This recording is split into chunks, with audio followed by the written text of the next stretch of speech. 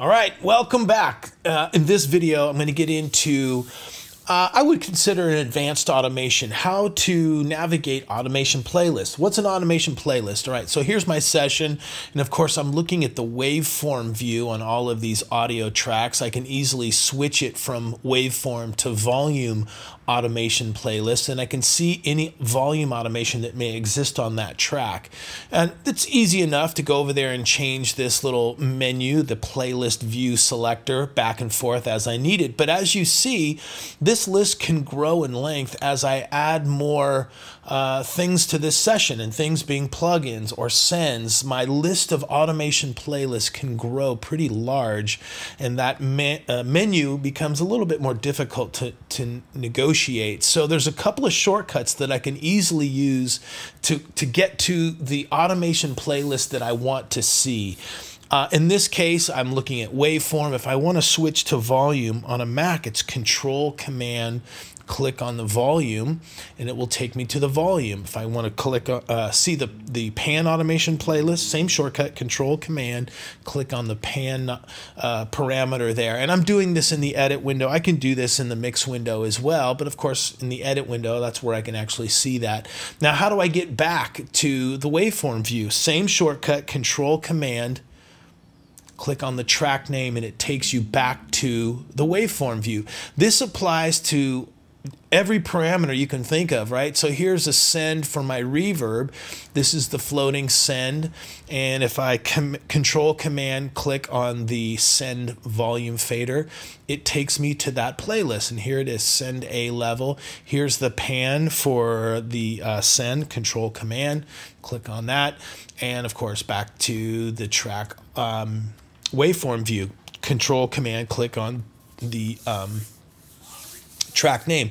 I can do this on a per track basis. I can do it on all tracks, which I often do. I want to make sure that the automation that I'm writing, especially if I'm in a latch mode and I'm writing multiple tracks, uh, you know, multiple tracks or writing automation on, on a control surface, I want to make sure that I'm actually writing on all those. So I'm going to add the option key on a Mac or alt key on a PC. And remember that uh, modifier applies anything I'm doing to all tracks. So I'll do control option command. So it's control command is the shortcut, add the option key.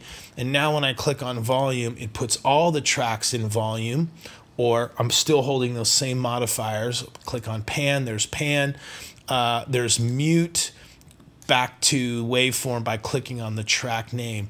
Now, same thing applies with sends. I'm going to expand this send view by command clicking on the letter of the send. There's the send level, control option command on a Mac or on a PC and it will take me to the send level across all tracks, right?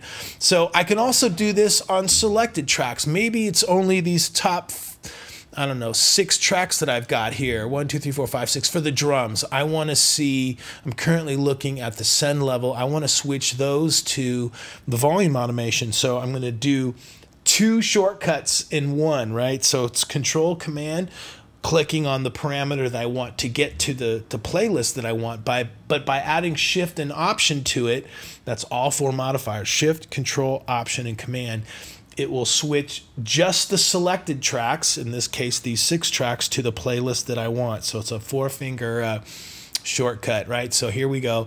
I'm going to switch on volume and it switched just these three tracks. Let's take this track height down a little bit so you can see that a little bit better. All right, so here's the top tracks.